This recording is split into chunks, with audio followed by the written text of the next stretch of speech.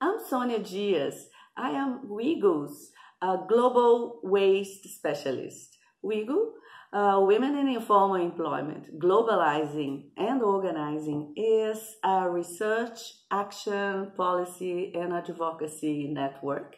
We work with informal economy workers, and particularly, we work with waste pickers.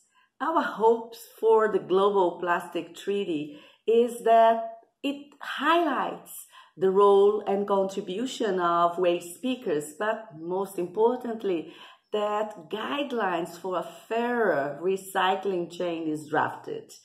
The majority of waste pickers are at the bottom of the value chain where earnings are low and the risks are high. So given their role and contribution to the environment, it is about time that we move towards an inclusive value chain with clear guidelines and frameworks for corporations for a fair recycling chain.